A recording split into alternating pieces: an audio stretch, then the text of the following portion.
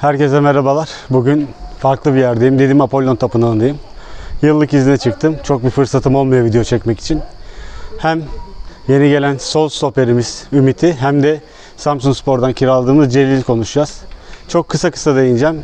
Tabii Ümit'i fazla izleme şansımız olmadı. Celil'in daha çok maç performansı var.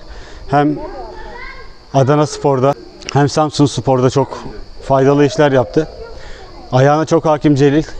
Topla çıkışlarda özellikle hata yapmazsa, bareteye kaçmazsa çok fayda sağlayacak bir oyuncu. Tabii şimdi orta saha planlaması nasıl olacak? Gidecekler olacak mı? Bunları görmemiz lazım çünkü Tiyaniş'le geçen sene devre arasına girdiğimizde savunmada 6 numara oynayan oyuncular arasında hücum anlamındaki top kullanmada daha doğrusu 6 numaralar içindeki en iyi iki oyuncu Tiyaniş'le beraber benzer özelliklere sahip oyuncular. Şut tehditleri olan oyuncular. Ayaklarına hakim pas meziyetleri iyi oyuncular.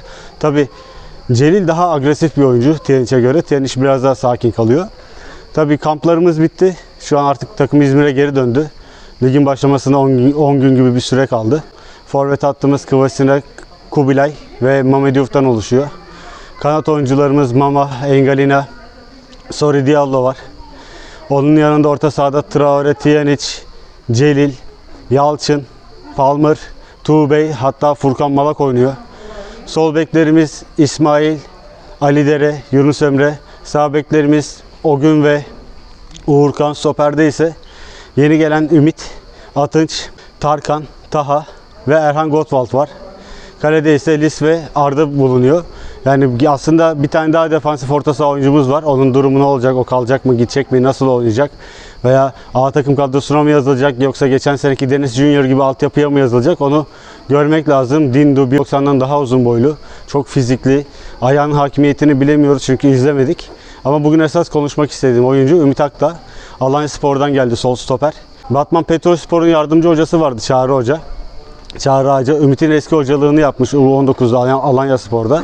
20 Temmuz'da bana söylemişti Ümit'le ilgilendiğimizi. Tabi transfer haberlerini ben çok girmediğim için bir de garanti bir şey olmadığı için bir şey söylemek doğru olmadı. O yüzden ama hocanın söylediği eğer ki forma şansı bulursa ve Emir gibi geçen sene oynamaya başlarsa çok daha faydalı olabilir. Çünkü hem hava toplarının daha iyi hem ayağı daha iyi hem altyapısı daha iyi demişti. Bana kalırsa dedi Emir'den daha iyi bir oyuncu olur Göztepe'de demişti. Tabii Ümit Akdağ'ın gelmesi bu sebeple de belki Emir'in gelmeyecek olması sol stoper bölgesindeki eksikliğimize bir nebze kapatmış oluyor. Çünkü Ali Dere sol stoper değil, sol önden sol beke, sol bekten de sol stopere devşirmeye çalıştığımız bir oyuncuydu. Ali Dere ile oynamanın başka avantajları var. Çünkü İsmail'in savunmadaki dezavantajını herkes biliyor. Çok fiziksel bir oyunu yok. Ama arkasında Ali Dere gibi hem tecrübeli hem hızlı bir oyuncunun olması oranın savunma emniyeti açısından tabii Ali Dere'nin ne kadar stoperlik meziyetleri olduğunu gör, gördükten sonra bunu söylememiz daha düzgün olur. Ama Çağrı Hoca'nın dediği gerçekten çok iyi bir oyuncu aldınız ve iki sene içinde nerelere gideceğini eğer oynadığı oynarsa dedi. iki sene içinde nerelere varacağını hepimiz görürüz dedi. Ben çok güvenirim, çok beğenirim dedi. Hatta Farioli'nin yardımcılığını yaparken Farioli de çok beğeniyordu oyuncuyu dedi.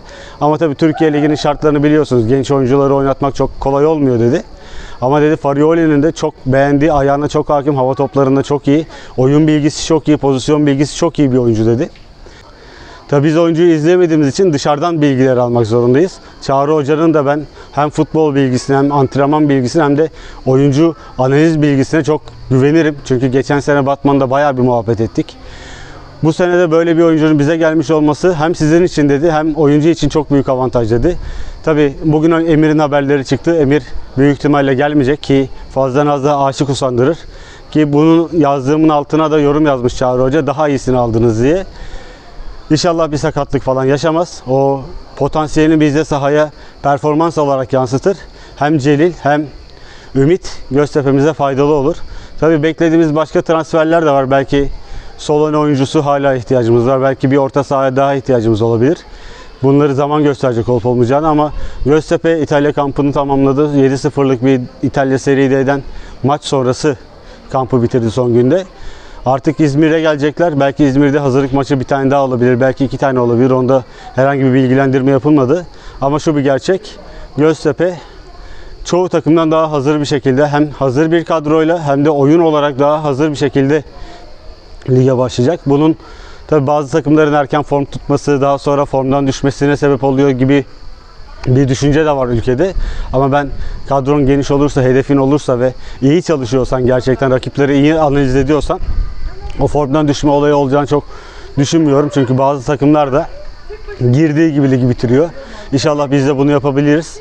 Bugün Didim Apollon Tapınağı'ndaydım. Onunla ilgili birkaç görüntü de koyacağım videonun altına.